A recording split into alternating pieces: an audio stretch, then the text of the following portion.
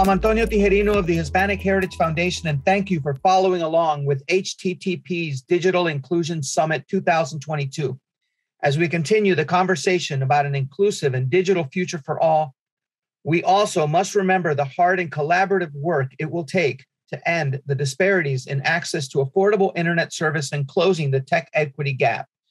While this includes empowering local and federal governments to use infrastructure funds to promote inclusive public policies that ensure equitable and access to broadband, it also means providing the tools for the Latino community for adoption and increased digital skills. For our community, this translates to having a choice of wired and wireless options available at an affordable price. It also means the availability of adoption and digital skill programs like my organization's, the Hispanic Heritage Foundation's Code as a Second Language effort that helps underrepresented minorities develop the skills our youth and adults need to succeed in our 21st century digital economy. Without important access to broadband, along with sufficient digital services, our youngest learners continue to face barriers to a quality education. Our disabled communities are unable to access life saving telehealth service. And workers that face job displacement are unable to access skills and training necessary to participate in a changing workforce. So, thank you, HTTP, our partners and coalition members, for continuing this important discussion. And thank you to Senator Patty Murray and her ongoing efforts with the Digital Equity Act to ensure funds continue to help our communities. Hi, everyone. This is Senator Patty Murray, and I'm delighted to join you all for this year's Digital Inclusion Summit. For so many of us, having a reliable broadband connection is almost as important today as running water or electricity. But for too long, it's been out of reach for so many people. That's why I worked to pass my bill, the Digital Equity Act, in the bipartisan infrastructure law President Biden signed last year. My bill will help make sure everyone has the tools and support to get online and will deliver funding to state and local entities who are on the ground and already leading when it comes to digital inclusion. And this is just one of many ways the bipartisan infrastructure law will help people in Washington state and across the country get online for less. The law will also put at least $45 billion towards expanding broadband coverage, reduce internet costs for households with low incomes, and more. The funding alone is going to be a big deal, but ensuring that digital inclusion is at the center of these investments will be so important to the overall success of this package. So I'm fighting to ensure that once someone has a reliable internet connection, they're able to make the most of it, creating opportunity for so many people in a big, big way. Thank you again for inviting me to join you all, and know I will continue to be your proud partner in the fight for digital equity. Hello, everyone. Thank you for joining us today um, on a conversation about expanding digital opportunity um, for every home, everywhere, um, and thinking about um, how broadband adoption, um, affordability, and digital skills are actually a racial equity issue, and how it's really important to think about these issues from the lens of racial equity to ensure that all of our communities are not only included, but really able to thrive and take advantage of all of the benefits that come with access to broadband. So, we're really excited today um, to have a great panel for you. Um, my name is Emily Chi. I'm the director of Tech, Telecom, and Media at Asian Asian Americans Advancing Justice, AAJC, and I'm really excited um, to have a panel. Um, so, first, we have Brandon Forester. He's national organizer um, with Media Justice. He is a phenomenal leader on all of these issues. Um, and so, we're really excited to have him. Um, we also have Diego Deleersnyder, um, who is a senior research manager at Aspen Latinos and um, does a lot of leadership around digital equity programs for Aspen Latino. So we're very lucky to have him t- with us today. Um, and we also have Dr. Fallon Wilson, who is the vice president of tech policy, multicultural media um, Telecom and Internet Council. Um, and she has been doing some great work around um, reaching communities where they are um, to make sure that they are included um, in, in our broadband outreach work. So we're really excited to have three people who are actively working in the communities, um, making sure that communities of color are connected and included, and that the policies that are built to serve them actually will serve them. Um, so, thank you all for your incredible work. So, first, let's just start with understanding the gap. You know, we have had a lot of conversation, especially with the pandemic, about why the internet is essential and how there is a gap in connectivity. Um, we often talk about, you know, how there's a rural divide um, from the urban divide. Um, but what we don't hear as much about are the specific challenges that communities of colors face when um, we're talking about broadband connections and why the strategies to reach them have to be targeted and specific. It can't be just a big mainstream outreach push. So um, maybe we can start with Dr. Fallon Wilson, and, and we'd love to go around and hear about what each of your organizations has been doing and how you're seeing the problem specifically for our communities. Um, thank you so much for moderating, Emily. I'm very happy to be here. Um, I work at the Multicultural Media Telecom Internet Council. It's a very long name, um, but we lovingly call it MMTC. Um, and part of the work that we do for the last 36 years was to advocate for equity and um, parity within telecom, internet, um, innovation, and, and broadcasting. Uh, we have been behind some of the most important briefs around making sure that people of color have access to those spaces. Um, I get to do great work because I get to work with, you know, the most hot topic of the moment, which is how to ensure that communities have access to internet. I don't say broadband often because I think that's also part of the challenge. The languaging of DC doesn't necessarily translate well to on the ground when trying to organize people. I think one church woman told me, I think she was a deacon. She's like, What is a broadband? Is it a bra And I'm like, No, it's not a bra, Mother Montgomery. It is what we call internet. Well, why don't you just say internet, baby? And, and so, and so if I had to begin my comments, I would say translation has been a challenge. Um, but the bigger challenge for me is, is probably the ethos that happens when you want to help people of color and poor people in this country the assumption by those who have the resources right is that if we build it they will come. It is it is consistently it is always the default mechanism for when we want to help communities.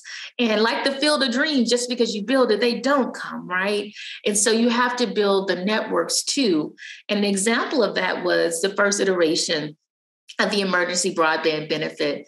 So we have an internet subsidy now, and it's great, and people will run to it. Um, but oh my goodness, we have to do enrollment. Oh my goodness, we need money to do outreach. One of the main feedback that we got, because we work with African American churches across the country and denominations and non denominations and nonprofits to educate them about digital equity. And one of the main challenges that came back to us was Dr. Wilson, we agree with you. You don't have to sell us on this. The pandemic has shown that we need the internet at least to connect with our parishioners and do our social ministries work, right? But um, but the CDC, the Center for Disease Control, gave us money to do vaccines in our parking lots. We could buy, you know, laptops and I mean iPads to do registrations and enrollment and to do tracking. Is there any dollars from the federal communication to do this to enroll people into the emergency broadband benefit? Once again, you build it, you think they come. And I had to tell them no. Why? Because we believe that waste, fraud, and abuse is the cornerstone of American democracy. And we must guard against those things. When the truth of the matter is, we need to put more money and resources into community based and cultural institutions on the ground to have an effective strategy for digital equity. And so it was I was happy, and I'm pretty sure both of my colleagues would agree that in this new affordable connectivity program moment, where the FCC does have dollars, right? But they don't know how to do granting, right? Because they're a regulatory body. And so that's a whole nother set of important challenges that we have to work through alongside the FCC. Um, and so for me, when I think about why don't we have why don't we have a movement on the ground? It's because those who have privileges and resources here within the DC Beltway, we have not necessarily figured out number one, how to translate the language. And number two, we don't center community in our design ethics. They should be alongside of us co creating this moment. But we, once again, we build the field of dreams and expect for them to come, and they don't. And they don't have to actually. I don't feel bad. I, I don't penalize people for not coming to something that they didn't have ownership in. Right. Thank you, Dr. Wilson. Those are all such important points um, and, and certainly a challenge that we're seeing at our organization where um, it not only is the translation issue a problem, it's also, you know, the levels of digital literacy. It's also how can the, all this information be online and the application itself be online when the whole point is to do outreach to folks who aren't online yet? So really understand who are we designing for? Who are we actually trying to target? And what is their lived reality like? And how do we actually incorporate their input and their lived experiences you know? Like how can we design for a group that we don't actually understand or include? So really great um, perspective to consider for those who are designing and building and, and drafting this type of legislation and policy. Thank you. Um, so next I'll move on to Brandon with Media Justice. If you can talk a little bit about what you all are seeing with the racial um, digital divide and, and how you all are starting to work on it. Yeah, I really appreciate uh, being invited to be a part of this panel. And I think I'm going to parallel a lot of what uh, Dr. Fallon shared. So to start off, Media Justice. We're an organization that's fighting for racial, gender, and economic justice in the digital age. Um, we have a network, a Media Justice Network of over 100 organizations that includes uh, artists, artist collectives, community media makers, uh, folks that are providing internet to people in community, like community technologists. Um, it also involves folks at utility reform networks. So we have all kinds of folks in our network. And I think when we talk about this, we really should talk about it as a racial digital divide, not just as a digital divide. Um, and you mentioned this kind of mythology, Emily, that we always hear about urban versus rural. And of course, that's racial coding. When they're saying urban, that's coded for Black people. And when they say ur- rural, that's coded for white people. And we know that that's not true. We know that actually the biggest gap is an affordability gap, and that impacts people in both urban and rural places and also in tribal areas. But we also know, and it was really perfectly highlighted by a report out of the Joint Center, that the people that are on the that are furthest divided by the digital divide are the folks in the Black rural South. And so there we have Black folks in rural places who are part of the digital divide, despite this kind of mythology we have about the urban versus rural myth. Um, and I think that for us, really, you know, a lot of the conversations, a lot of the, the infrastructure money that we see, even the emergency broadband benefit, a lot of this, we're thinking about digital equity, but really what we're seeing is just trying to get people connected, basic access. We're talking really about just faster speeds and lower prices. And that's the smallest part, I think, of the fight that we have ahead of us. Um, because frankly, uh, to, to kind of paraphrase, there's an incredible, the most second to the most recent edition of Logic Magazine had an article, an interview with Andre Brock Jr., who wrote the book Distributed Blackness about Black culture online and Black uh, kind of cyber cultures. And one of the things that he said in that interview was that, look, our people see the digital divide, they see what's on the other side of that bridge, they can peep that, and that's not for them. They don't want any part of it.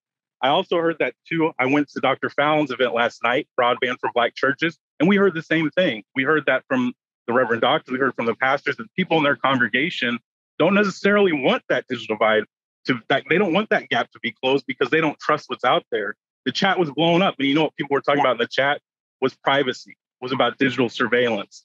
So these are the things we have to think about when we're talking about this. It's not just getting our communities access to good technological systems. We also have to think about all of these harmful systems that always have access to our people. Um, and then the last thing that I'll say uh, that ties to this also is you know, I think a lot of what we hear is the solution is just competition, competition, competition. We know that there's an issue with monopoly, duopolies, where people don't have choices. But we also know that in a capitalist system, it's competition, a win or lose system that, that, that leads to monopolies. Monopolies don't just happen. They happen because we win we live in a win or lose situation. The real remedy is cooperation. It's collectivism at the local level. And so the only way that we're going to change this, because there was an FTC report that came out last year. Folks know that Google, Facebook, Amazon, these places are tracking you participating in digital surveillance. But the report from the FTC said, wait a second, your internet service provider is doing just as bad or worse. And not just because they have a monopoly over your internet service, but they're these vertical monopolies. So they know what you're watching on television because they're your cable provider, they're your cell phone provider, and they can connect all of these places you're going, everything you're doing. They know everything about you. And so, really, the solutions that we have to have like you were saying, we have to look at design. We have to involve community. And the only solutions that we're going to have are not having AT&T or Verizon or Comcast and more competition in more areas. We have to essentially abolish them. We have to do that by building out local solutions that are accountable to people. Now that can look like community mesh networks, neighborhood networks, that can look like co-ops, that can look like small private businesses.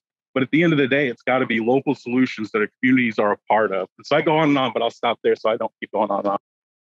No, thank you. I think um, you've just given even more examples um, to bolster Dr. Wilson's point that having that active, you know, input and um, yeah, having community members actually share what they think and how they feel is really important because you know you just shared how one of the assumptions is that well people just don't know that internet is so valuable and why they should be on it. And if you talk to anyone who is, is an intended beneficiary of these programs it's clear like no they know that already. That's not the problem. And we would have known that if we even had one conversation with community. And um, brandon makes your example of how a lot of these folks are very aware of some of the risks and dangers and harms that come from being connected um, and kind of want to resist that just reminds me of you know we have to really rely on trusted messengers here because why would people trust a system and an agency and a government that has created the digital divide intentionally against their communities anyway right? There's a history of these systems being built to exclude us to harm us. And so for that entity to then reach out and say hey we created this great program for you without community input and engagement and trusted messengers just really doesn't make sense and um, one thing that I'd love for us all to talk about, and maybe we can wait until we go to our, our third panelist, but is um, the role of historical redlining and what that means for what we're seeing today with digital redlining. Because um, it's not just oh our our communities don't have awareness or they don't see the value in internet it really is an infrastructure problem where they've been um, excluded intentionally. So maybe that's something you all can think about and I'll ask about next. But um, before we do that, I will now pass it off to Diego, um, who is at Aspen Latino, to talk a little bit more about how you all are seeing it from the Latino perspective. Thank you, Emily. It is uh, really nice to be with all of you here today. Um, so uh, basically the point that Brandon and Dr. Fallon made before about the importance of community-based organizations uh, resonated with, with, with, me and with the work we are doing at the Aspen Latinos Society. We are one of uh, about 80 policy programs at the Aspen Institute. Uh, we were uh, founded in 2015 with the goal of working towards uh, more economic opportunity for the Latinos communities in the US. And we do so through uh, different projects, but one of our main ones is the City Learning and Action Lab, an initiative with, uh, that, that basically focuses on working with seven Latino majority cities around the US with uh, a steering committee in each of these cities that uh, has community-based organizations, the local Hispanic Chamber of Commerce, uh, local entrepreneurial um, ecosystem organizations, uh, the city management office, uh, in order to identify uh, a strategic initiative that can support Latino businesses and Latino entrepreneurs to recover from COVID 19 and to thrive in the new economy. And uh, of course, we understand that uh, in the digital economy, technology is a must for uh, Latino business owners, Latino entrepreneurs, and Latino workers to thrive and prosper. So, this is one of our main buckets of work. And um, well, in terms of uh, digital digital equity, there is uh, there, there are plenty of gaps that affect the Latino community. Uh, as it was said before, it's not only about broadband connectivity, where Latinos are uh, facing barriers in terms of uh, accessing high quality, high speed internet at affordable prices. It's also about uh, accessing digital devices that now, after the pandemic experience, we know that it's not about having one computer in a household. It's about every single member of the household having internet enabled devices in order to uh, be able to connect to education, in order to be able to connect to work, to connect with healthcare services. Uh, it's also about digital skills. Uh, there was a National Skills Coalition report in 2020 that identified that Latino workers uh, are the demographic uh, that has um, lowest level of access to digital skill training around 57% of Latino workers have low to no digital skills, and this affects their possibility of accessing high paid uh, job opportunities. Uh, there is also a McKinsey uh, Global Institute report from 2019 that identifies Latino workers as the demographic most at risk of job loss due to automation and digitalization. And this is because of many reasons, uh, one of them being uh, unequal access to uh, higher education institutions, but also the fact that Latino workers are overrepresented in industries and sectors where automation and digitalization is actually, are actually replacing workers. In the example, the, the example is uh, industries such as retail, construction, manufacturing, agriculture, or hospitality. So there is a lot of work to be done in order to ensure that Latinos have uh, full access to digital opportunity. Uh, in the Latino in the, Latino Society program, we also understand that it's not an issue of uh, digital inclusion; it's about digital success, Latino digital success. And in order for this to happen, it's not only about uh, making sure that Latinos are connected and are uh, active users of technology. It's also about Latinos uh, being creators of technology. Uh, so, in this sense, there is a wide underrepresentation of Latinos in the tech uh, we did a report with Kapor Center, uh, a California-based NGO, uh, last year, uh, and we identified that Latinos nowadays represent barely 7% of tech occupations. Uh, they only represent 4% of tech leadership, only 2% of tech board members, only 2% of venture capital investment professionals, and only 2% of tech, tech startup founders. So, uh, if we want to avoid technology to have harmful consequences for communities of color, we need to make sure that communities of color are uh, represented in the technology sector, that they are uh, creating the technology in order to uh, make sure that that technology is answering to uh, their needs and is not harming them through algorithmic biases. So um, we uh, at the Aspen Latinos and Society program, we are conducting uh, research projects to better understand the needs of the Latino community around the US. It is very important to understand that the Latino community is highly heterogeneous, so there is no one size fits all policy that can give an answer to the different needs of the Latino community. Uh, in this specific topic is not the same to uh, answer to the needs of a Latino entrepreneur who is trying to remain uh, competitive by adopting technology in its business model, or uh, a Latino professional who is trying to open a career pathway in the technology industry, or a Latino frontline worker who is highly at risk of uh, job loss due to automation. So uh, the policies that uh, need to be designed have to have this in mind. it is important to understand the different personas within the, the Latino community and it's always important to uh, work together with community based organizations that are trusted by the community in order for those policies to have a proper outreach. So I think that's pretty much it for, for now, but I'm happy to continue with the conversation. Yes, thank you so much. And I think you've done an excellent job of just showing how this issue is interconnected with so many other issues like economic opportunity, like diversity in the workplace, and how all of these elements are really important to achieving equity in this space. Um, so I'd love to open it up to all of you now to kind of discuss. You know, we've already kind of done this, but what are some of the historical or systemic issues at play? Um, you know, we talk about um, broadband as something that seems like it's kind of in a bubble sometimes but you know what are the issues that are you know communities are regularly facing or have faced throughout history that we have to consider when we think about you know internet access policies that are going to actually lift up our the specific communities that each of you serve? Maybe we can um, start with brandon. Yeah um, well i want to return uh, answer that question to, to what you mentioned before about digital redlining. And obviously, that that calls forth um, historical redlining. But I think that now we've really kind of actually narrowed what redlining was when we talk about digital redlining.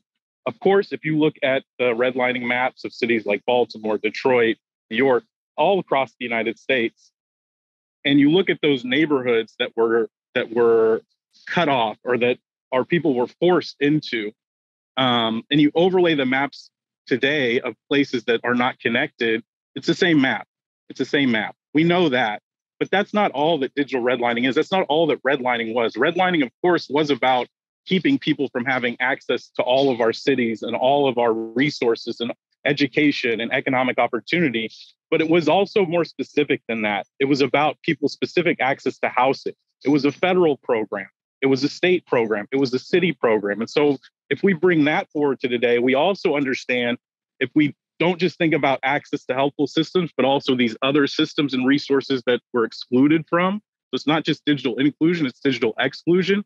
We still see that through algorithmic bias, through targeted advertising, we, we know about the subprime uh, home lending that particularly impacted Black and Brown communities. Those people were targeted through digital advertising that was built on top of surveillance. So when we talk about digital redlining, you know, it's important that we talk about the geographies of it. It's important that we look at those maps and understand, but it's also important that we understand that there's more to the history than just looking at those maps. There were regulations, there were policies, there was culture that was a part of that that that forced those things to happen.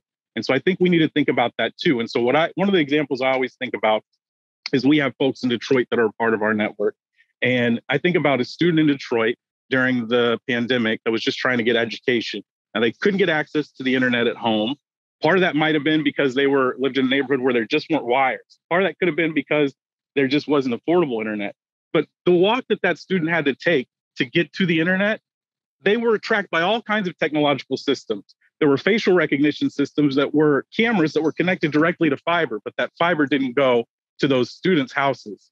And so I just want to expand what people are thinking when they think about digital redlining to also think about it as not just the maps, but also everything else that made those maps possible. Right. It makes me um, think back to what Dr. Wilson was talking about, also about where we make our decisions about where to invest money and resources, um, and how often that's not actually reaching the communities um, that we're trying to include. Um, Dr. Wilson, I wonder if you can add some thoughts. Oh, no, I I agree with Brandon. Um, I serve on the Communication Equity and Diversity Council for the Federal Communications Commission, um, and part of the charter is to deal with these types of intersecting issues, especially this new charter, and this new iteration. And many of you know that FCC is looking for public comments on digital discrimination. And so for me, I situate there. This is not just about digital redlining, it is about all forms of discrimination that allow that do not allow people of color in particular to make choices for their lives and for their families. I give the example all the time. I get to wear two hats. Nationally, I do policy work and I advocate. Locally in Nashville, Tennessee, I serve on, I wrote our smart city report through equity. I raised $200,000 from the pandemic to do a mixed methodology to study digital access and equity issues in Davidson County. So I know municipal politics very well. And I also know that they're not equally distributed when it comes to library dollars for public computing within Davidson County. I was floored a couple of maybe about two years ago when we were doing some research there to only realize that predominantly you know, affluent neighborhoods, predominantly white, got all the, the, the dollars to upgrade their libraries and digital access and access. Communities where there were immigrant and people of color, not so much.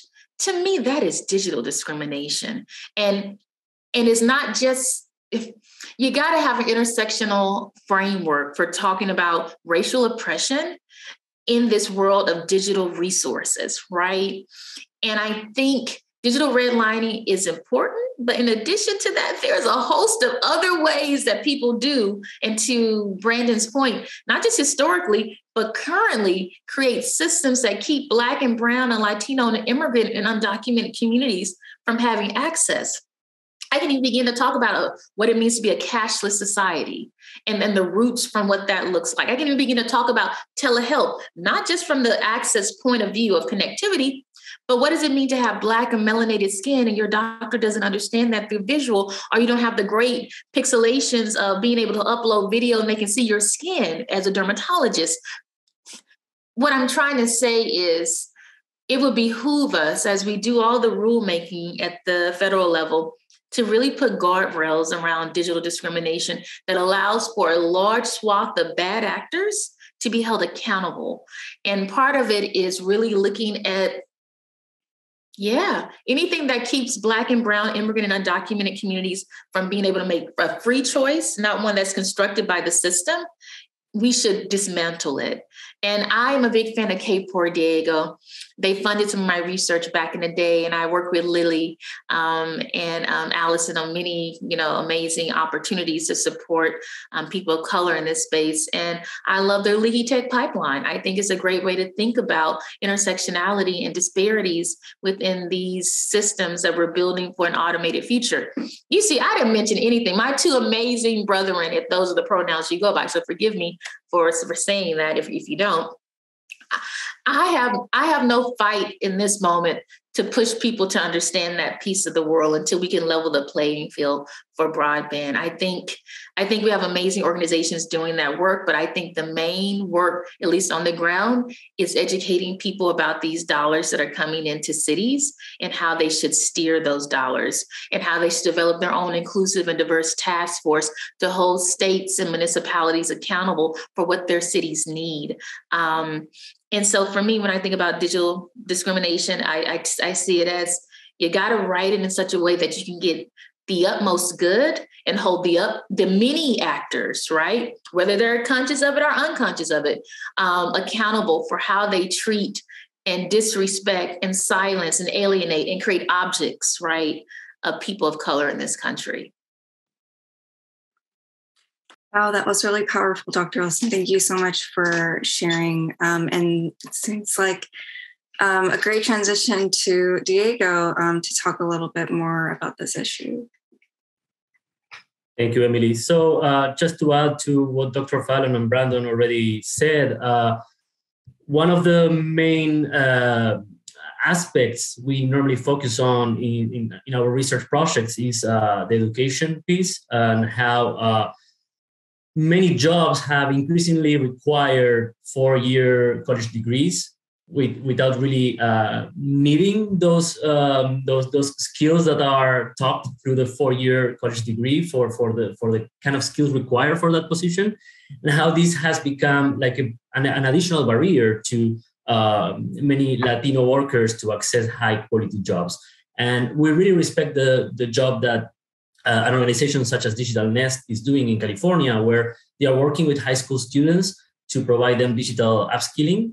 And then they work with them as consultants to provide um, um, digital um, marketing services to small businesses in the neighborhood uh, that normally wouldn't be able to pay for those in order for them to develop their website presence, their e commerce platform presence, or uh, brand uh, development and then these these uh, high school students then have uh, uh, a, rele- a, relevant job experience that they can put in their resume and they can transition into uh, jobs in the tech sector without the need of going through uh, a four-year college degree that is highly expensive and uh, adds to the debts that households already have.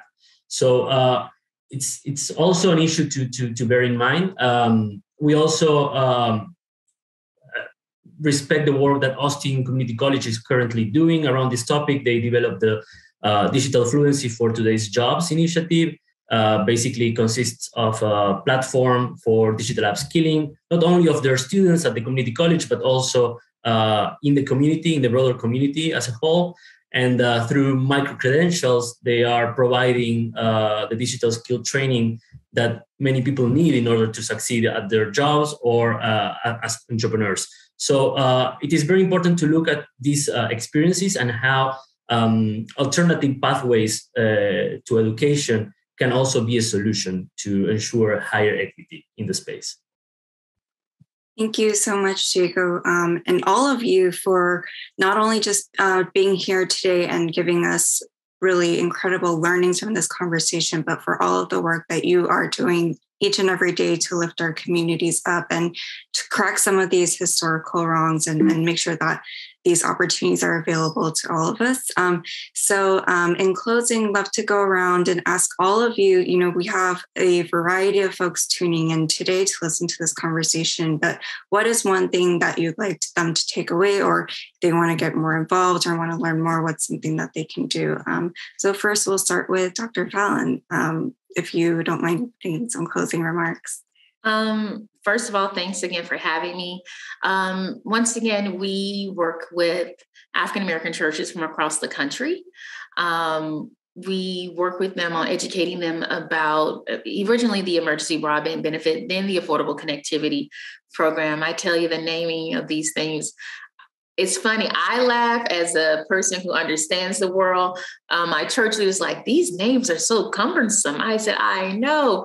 It would help if the FCC and Congress had a PR branding strategist, UX like team, like that digital services that they once had under President Obama would help with some of this." But um, I would simply say to get more involved in the work that we're doing, you can go to www.blackchurchesfordigitalequity.com, um, and there you can learn about the work that we're doing um, nationally and locally. I would also say, um, yeah, tune in to our FCC diversity and equity meetings. I always miss that name up too. Hold on, what is it called? I wrote it down Communications and Equity Committee um, because we need more eyes and thoughts and support.